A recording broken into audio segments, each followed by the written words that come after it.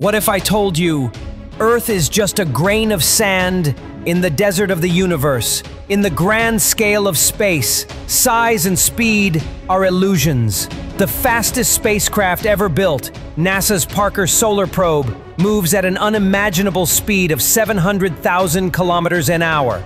Yet it would still take over 6,000 years to reach the nearest star system, Proxima Centauri. Our Earth spins at 1,670 kilometers an hour and orbits the Sun at 107,000 kilometers an hour, while the entire solar system hurtles through the galaxy at 828,000 kilometers an hour, and we feel none of it. Even more mind-bending, our Milky Way galaxy is on a collision course with the Andromeda Galaxy, and that journey has already begun.